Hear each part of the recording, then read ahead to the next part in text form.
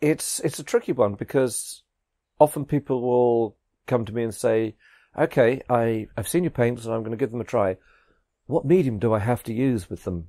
And there's an implied sort of idea there that somehow you need you have to be using a medium like some type of activator, and the truth is you simply do not. We do manufacture mediums, but we did a bit of market research recently and found out that nearly all the artists who buy our mediums, a lot of them are actually using them with other brands.